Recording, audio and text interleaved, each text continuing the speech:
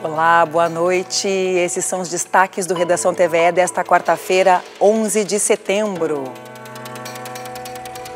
Tribunal Regional Eleitoral alerta para mudanças nos locais de votação no estado devido a impactos das enchentes. Ministério da Reconstrução divulga balanço após fins das operações no Rio Grande do Sul. Fumaça das queimadas no norte do país chega com força à capital gaúcha. Saiba quais os riscos para a saúde dos pulmões. E conheça o chuveiro que pode reduzir pela metade o consumo de energia elétrica e auxilia no combate ao desperdício de água.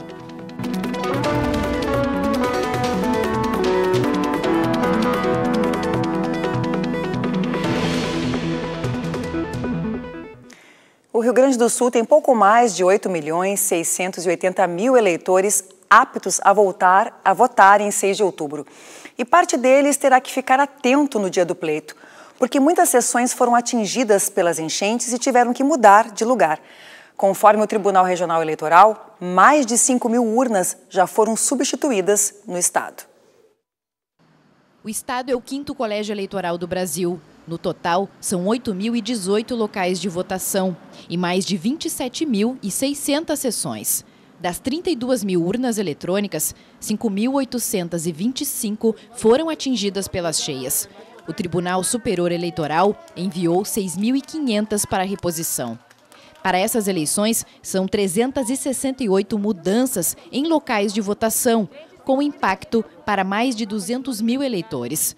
Para tornar possível o pleito, o TRE fez conferências e esteve no Vale do Taquari, em audiência pública, com 15 prefeitos.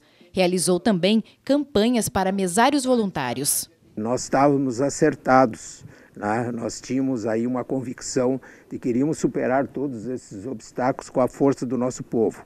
E, primeiramente, com o apoio de todos os servidores e servidoras da Justiça Eleitoral, mas também com o apoio de várias uh, lideranças das diferentes comunidades que foram atingidas. Canoas teve 98 sessões atingidas pela cheia e Porto Alegre, 48.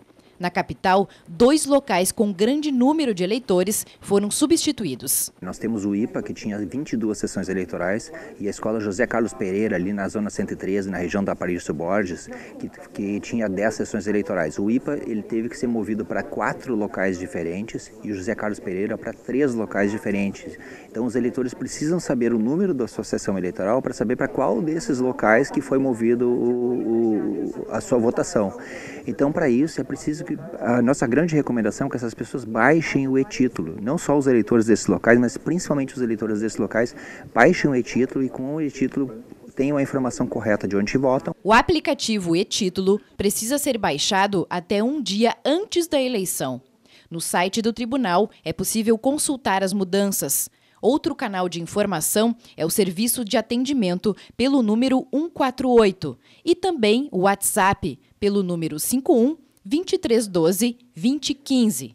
A preocupação do TRE é que as alterações não prejudiquem o eleitor. Por isso, no próximo dia 18, fará uma ação para evitar um número elevado de abstenções. E nós estamos conclamando a todos os juízes e juízes eleitorais no sentido de que procurem, é, nos seus veículos de comunicações do, do, das suas cidades, ali ocuparem espaço para demonstrar ao eleitor a importância do ato de votar. E com isso, eu creio que a gente vai exercer realmente a cultura da cidadania num plano mais elevado como deveria ser. Dos 97 bilhões de reais disponibilizados pela União para investimentos no Rio Grande do Sul após as enchentes, mais de 40 bilhões já foram utilizados. O balanço foi apresentado hoje pelo Ministério da Reconstrução do Estado, que encerrou os trabalhos após quatro meses, depois que o Congresso deixou de votar a medida provisória que o instituiu a pasta. Os recursos foram direcionados para ações de emergência e salvamento, repasses a municípios e ao Executivo Estadual, crédito para empresas, apoio ao emprego e novas moradias para quem perdeu a residência. Conforme o ministro da Reconstrução, Paulo Pimenta, que vai retomar as atividades na Secretaria da Comunicação do Palácio do Planalto, a expectativa é que a recuperação da economia gaúcha ocorra com força até o final do ano. Nós estamos concluindo essa etapa, que é simplesmente uma primeira etapa do trabalho de reconstrução e da participação do governo federal. Um trabalho que terá sequência, nós temos muitas coisas ainda para serem feitas, eu sou capaz de apostar que o Rio Grande do Sul ficará até o final do ano num dos três estados do país onde a economia mais vai crescer. Isso não foi por acaso. Isso é fruto de uma estratégia de ação política, de uma visão do presidente Lula e do nosso governo, de que a melhor forma de nós ajudarmos o Estado do Rio Grande do Sul é fazer com que a economia pudesse responder de forma efetiva. Construímos uma relação absolutamente institucional e republicana de respeito com as prefeituras e com o governo do Estado. Desafio em qualquer outra situação semelhante num país um trabalho tão harmônico de parceria como nós estabelecemos com as prefeituras e com o governo do Estado, como nós estamos fazendo aqui no Rio Grande do Sul. O governador Eduardo Leite ressaltou a capacidade de solução conjunta para os problemas do Estado e os desafios para o futuro na reconstrução do Rio Grande do Sul. Os deputados estaduais aprovaram projetos encaminhados pelo governo, pelo Poder Executivo, que já contemplam também, além de reestruturação de cargos para tornar mais atrativo né, o serviço público em áreas críticas, inclusive nas áreas de engenharias né, e de uh, administração desses projetos, também esses projetos já encaminharam autorização para contratações emergenciais que o governo já está estruturando para que a gente possa ter uma contratação de equipes técnicas dentro da estrutura do serviço público, além, claro, de outras soluções que possam ser endereçadas em contratos que o governo venha a manter para poder ter estrutura uh, robustecida para fazer com que essas obras aconteçam. Então, uh, nós já estamos também fazendo essa lição de casa para poder atender essas necessidades os recursos federais uh, disponibilizados vão nos impor. E o Palácio Piratini assinou hoje um protocolo de intenções com a Scala Data Center para a construção no estado do maior empreendimento de infraestrutura digital da América do Sul. Com investimento previsto de 3 bilhões de reais, a cidade Data Centers será erguida em Eldorado do Sul, na região metropolitana. E conforme o governo gaúcho, a iniciativa posiciona o Brasil como um polo central na revolução global da inteligência artificial. A capacidade inicial da escala City será de 54 megawatts, com potencial de expansão para mais de 4.700 megawatts, distribuídos em mais de 7 milhões de metros quadrados. O céu de Porto Alegre se apresenta mais um dia encoberto por uma neblina espessa. O efeito passou a ser sentido no Rio Grande do Sul desde a semana passada, reflexo das queimadas em outras regiões do Brasil e países vizinhos.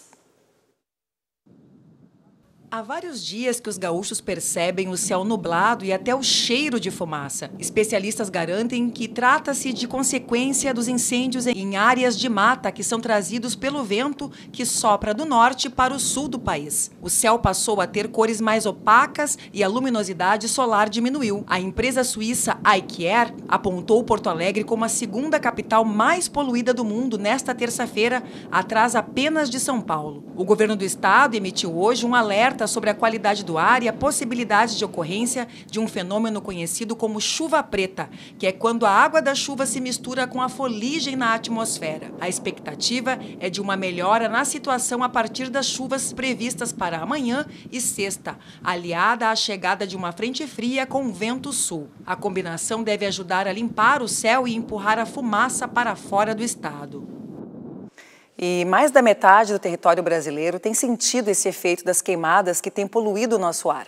A reportagem da TV Cachoeira, nossa parceira na região central do estado, conversou com uma engenheira florestal e nos traz mais detalhes sobre a formação desses resíduos poluentes e os efeitos para a natureza e a saúde humana. A gente vai tentar entender melhor esse fenômeno conversando com a engenheira florestal Ângela, que está aqui do meu lado. Ela trabalha no Departamento de Vigilância em Saúde de Cachoeira do Sul e vai trazer detalhes sobre o que isso representa no cenário brasileiro.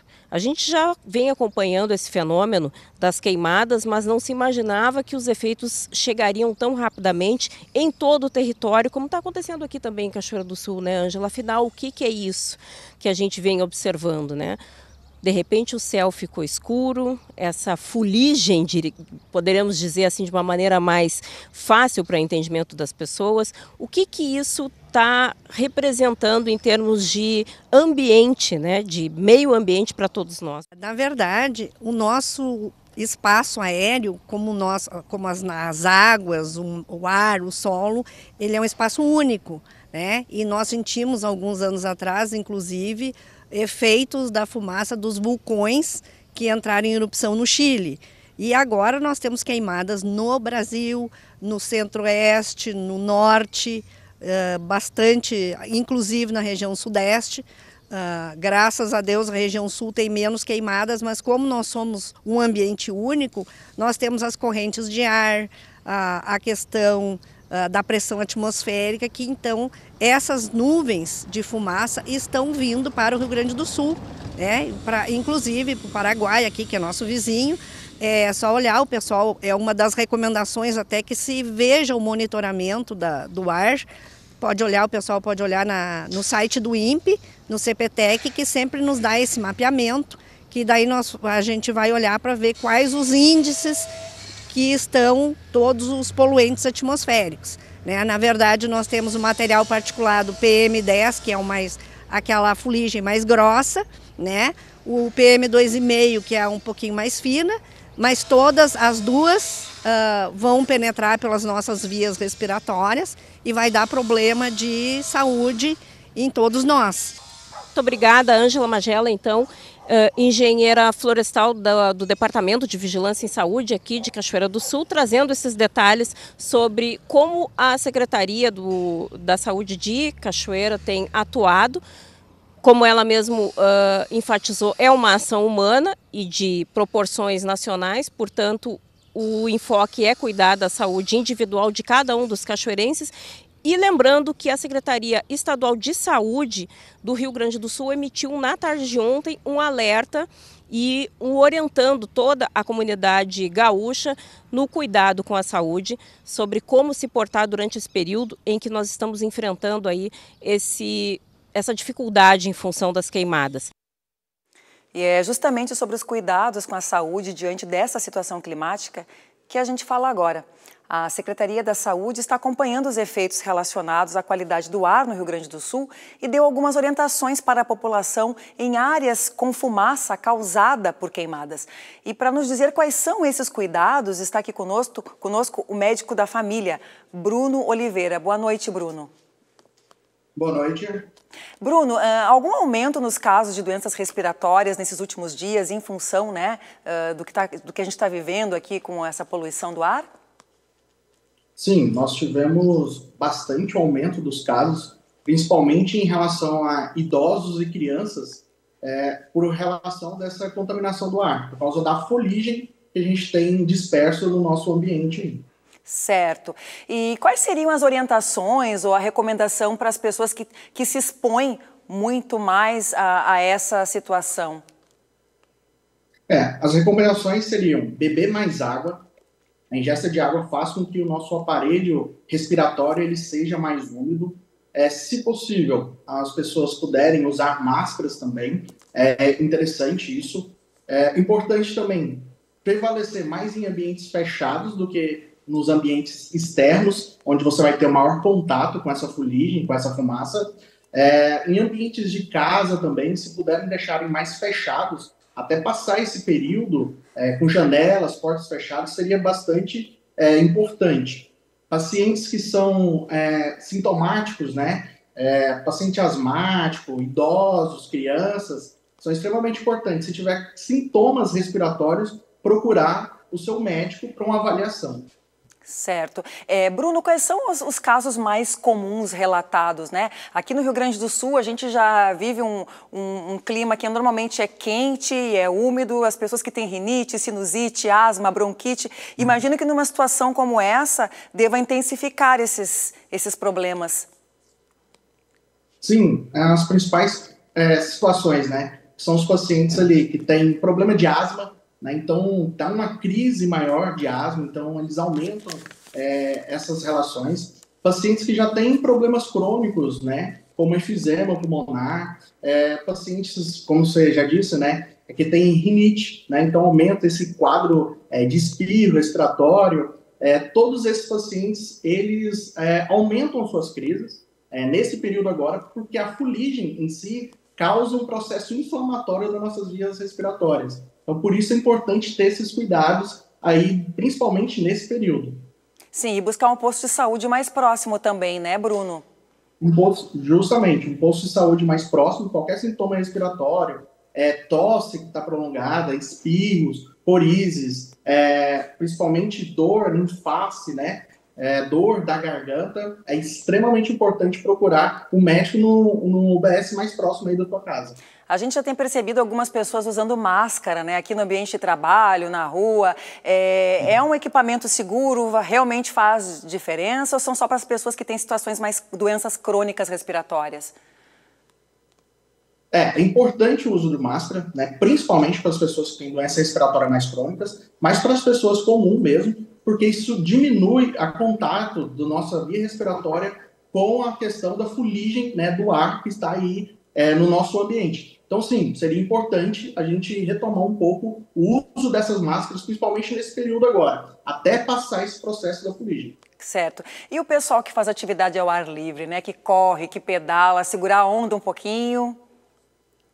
Sim, isso nesse momento é importante, tá? Porque por mais que você esteja ali fazendo atividade física, é, você aumenta o seu processo de respiração, né? De forma normal. O nosso cardiovascular ele aumenta pela atividade física. Isso faz com que você acaba ingerindo ou absorvendo mais essa substância em ar aberto, né? Então, se nesse período as pessoas puderem é, evitar né, essas atividades físicas em lugares abertos, seria extremamente importante para evitar as consequências futuras disso. Certo. Muito obrigada, doutor Bruno, pelos esclarecimentos. E a gente espera né, que, que essa poluição vá embora e que o sol ressurja no Rio Grande do Sul novamente. Sim, justamente, para a gente poder voltar às nossas atividades normais, né? Ok, muito obrigada, boa noite. Obrigado, boa noite, até mais. Nós vamos agora a um breve intervalo e na volta tem a previsão do tempo. E você vai conhecer um chuveiro que poupa energia e ajuda no combate ao desperdício de água. Em Porto Alegre, a noite começa com céu nublado. Neste momento, no alto do Morro Santa Teresa, temperatura na casa dos 20 graus. Volto com a três?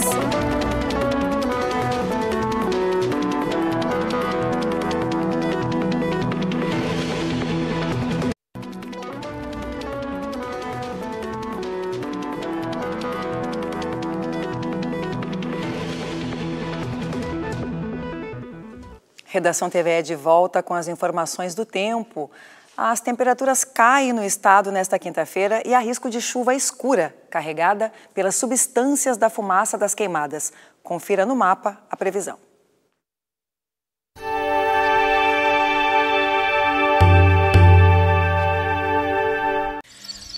O avanço de uma frente fria deve provocar pancadas de chuva. No sul, com céu fechado, e na campanha, com períodos de sol, o acumulado das precipitações pode passar dos 70 milímetros. A instabilidade tende a prevalecer também na região metropolitana da capital, na fronteira com a Argentina, no noroeste e no centro do território gaúcho. No norte, na serra, dia nublado.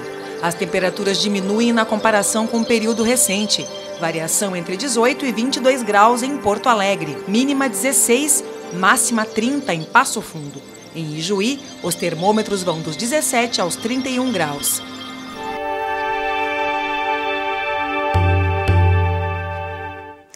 E acontecem nesta quinta e sexta-feira as inscrições para as entidades e os piquetes que desejam participar do desfile de 20 de setembro em Porto Alegre. Quem está acampado no Parque Amonia deve procurar o galpão da Prefeitura de Porto Alegre no dia 12. Os demais interessados devem se dirigir ao Centro de Tradições Gaúchas, Estância da Azenha, no dia 13. O atendimento acontece das 10 da manhã às 5 da tarde. O desfile de 20 de setembro será na Avenida Edivaldo Pereira Paiva a partir das 8h30 da manhã e terá transmissão ao vivo aqui pela TVE. Um chuveiro que pode reduzir pela metade o consumo de energia elétrica durante o banho e também auxilia no combate ao desperdício de água. Essas são as duas principais características do aparelho que está sendo instalado em residências de clientes da distribuidora de energia CE Equatorial em cidades atingidas pelas enchentes. O programa E Mais Comunidade surge como um apoio financeiro e iniciativa sustentável para milhares de famílias. A enchente chegou até o segundo andar da casa da dona Eroni do seu Valtair, no bairro Sarandi, na zona norte de Porto Alegre. Por mais de um mês, eles permaneceram fora de casa. E ainda as reformas e os ajustes da residência continuam.